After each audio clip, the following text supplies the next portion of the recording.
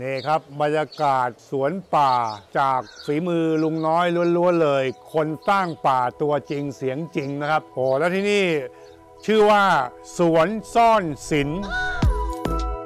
เขาใหญ่อำเภอปากช่อง จังหวัดนครราชสีมา นอกจากจะเป็นแหล่งท่องเที่ยวที่มีธรรมชาติแห่งขุนเขาสวยงามตระการตาแล้ว ก็ยังมีแหล่งท่องเที่ยวเชิงศิลปะวัฒนธรรม ที่ช่วยแต่งแต้มความคิดสร้างสรรค์ และจินตนาการ สร้างความเพลิดเพลินเจริญใจให้แก่ผู้ที่ได้ไปเยือนเป็นจำนวนมาก แห่งหนึ่งนั่นก็คือสวนซ่อนศิลป์ที่ตำบลกลางดงอำเภอปากช่อง จังหวัดนครราชสีมา ซึ่งก่อตั้งโดยลุงน้อย หรือคุณสุรินทร์สนธิรติเจ้าของฉายาคนสร้างป่า ด้วยความฝันและแรงบันดาลใจที่อยากจะมีบ้านเล็กในป่าใหญ่ จึงได้มุ่งพัฒนาจากทุ่งข้าวโพดที่โล่งแล้งเมื่อ 40 ปีก่อน ให้กลายมาเป็นผืนป่าขนาดใหญ่ ในพื้นที่กว่า 100 ไร่ มีต้นไม้นานาพันธุ์กว่า 10,000 ต้น และลุงน้อยยังได้แบ่งพื้นที่ส่วนหนึ่งประมาณ 9 ไร่ มาทำเป็นพื้นที่สร้างสรรค์งานศิลปะท่ามกลางธรรมชาติที่ร่มรื่น โดยใช้ชื่อว่า สวนซ่อนศิลป์ครับ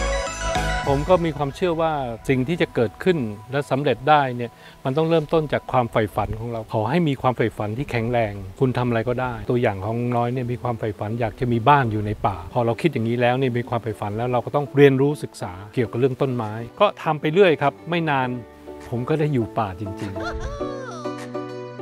อ๋อสร้างป่าก่อนแล้วก็ปลูกสร้างให้มันเข้ากับป่าได้ ใช่ แล้วก็ถ้าต้นไม้โตขึ้น ผมจะผ่าอาคารผ่าหลังคาออกเพื่อที่จะเก็บต้นไม้ไว้ ไม่มีการตัดต้นไม้นะครับ โอ้ นี่อารยสถาปัตย์ก็มีพอใช้ได้แล้วครับ โอ้โห แต่ละมุมก็จะผ่านเนี่ยศิลปะซ่อนเล้นอยู่ เป็นแกลลี่ฮะ เป็นหอศิลป์ แล้วก็แต่ละหลังก็จะเป็นศิลปินแต่ละคน ปัจจุบันนี้ผมสอนศิลปะ การวาดรูปเฉพาะสีน้ำนะฮะ ปรับ mindset ให้คน เพราะการสอนสีน้ำเนี่ยมันต้อง มีการเรียบเรียงเป็นขั้นเป็นตอน สามารถเปรียบเปยเปรียบเทียบกับวิธีคิดสำหรับการใช้ชีวิตหรือการทำงานได้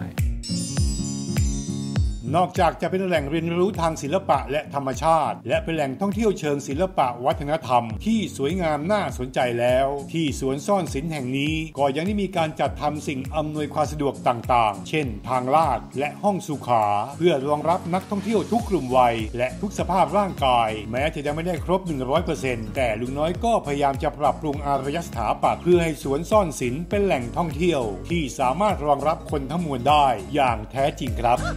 ริมน้ำจะเป็นบ้านพักนะครับ อยู่บนเนินเขานะครับแต่ก็มีทางลาดขึ้นไปถึงตรงหน้าบ้านอันนั้นขึ้นได้เลยแน่รองรับผมดูแล้วโดย CPO ด้ไม่วยน่ามีปัญหาขึ้นได้แต่เลยตรงนี้ก็ดูโครงสร้างก็เป็นทางลาดเป็นส่วนใหญ่อยู่แล้วนะลุงใช่น้อยครันะบก็ทางลาดก็จะเป็นด่านหน้านะครับผมในการที่อำนวยความสะดวกให้กับผู้ที่ใช้รถเข็นเนี่ยได้เข้ามาพักได้มาใช้บริการได้ ครับด้วยความยินดีเลยครับ แล้วก็ขอขอบคุณคุณกฤษณะนะครับ ที่วันนี้แวะเวียนมาเยี่ยมลุงน้อยที่นี่ได้แนะนำหลาย ๆ อย่างนะครับ แล้วก็ได้ทำไปส่วนหนึ่งแล้ว แล้วคิดว่าบางส่วนที่ได้รับคำแนะนำจากคุณกฤษณะแล้วก็จะปรับปรุง และคิดว่าจะทำให้ได้ถึง 100%เลยครับ จากสวนซ่อนศิลป์เราไปต่อกันที่ 129 Art Museum พิพิธภัณฑ์ศิลปะชื่อดังที่เขาใหญ่อำเภอปากช่องกันบ้างครับ ซึ่งล่าสุดที่นี่ก็ได้มีการปรับปรุงห้องสุขา ให้สามารถรองรับการใช้งานของผู้สูงอายุ และคนพิการที่ใช้รถเข็นให้ได้รับความสะดวก และปลอดภัยมากยิ่งขึ้น นอกเหนือจากที่จอดรถและทางลาดที่ได้มีการจัดทำมาก่อนหน้านี้ครับ มีคนจะถามว่าห้องน้ำ friendly design เนี่ยความกว้างขนาดไหนเราหมุนให้ดูเข้ามาอย่างเงี้ยปุ๊บเห็นไหมเนี่ยเข้ามาแล้วหมุนได้เงี้ยถือว่าเป็นความกว้างที่เหมาะสมแล้วก็ใช้งานได้สะดวกปลอดภัย โอ้นี่ปุ๊บปุ๊บโอเคเลย แล้วจับที่กดชักโครกอยู่ด้านข้าง นี่เราจับนี่ก็อย่างนี้ดีเวลาเทียบเงี้ยตัวนี้ก็ขึ้นเทียบนั่งปุ๊บปุ๊บดีมากเลยค่ะ ที่นี่นะคะ 129 Art Museum เขาใหญ่เนี่ยค่ะ มีอารยสถาปัตย์ ที่ขออนุญาตยกนิ้วให้นะคะ แล้วเหมาะสำหรับคนทุกวัยจริง ๆ ค่ะ เป็นแบบต้นแบบในการที่จะทำให้นักธุรกิจหรือว่าภาคเอกชนต่างๆอะค่ะได้สนับสนุนให้ทุกคนได้มีการท่องเที่ยวได้เท่าเทียมกัน ซึ่งอันนี้ก็ต้องบอกเลยว่าเป็นดีไซน์ ซึ่งได้มาเห็นเราก็รู้สึกยังภาคภูมิ และรู้สึกว่าเชิญชวนให้มาท่องเที่ยวได้มากขึ้นเนี่ยค่ะคือเป็นตัวอย่างที่ดีมากๆสำหรับผู้ประกอบการที่จะสามารถเอาไปพัฒนาหรือปรับเปลี่ยนทำฟ a ซิลิตี้ต่างๆ ค่ะ ให้รองรับกับบุคคลทุกๆ คนเลยใช่ค่ะ เป็นแบบคำว่า for all อย่างแท้จริง เขาใหญ่โค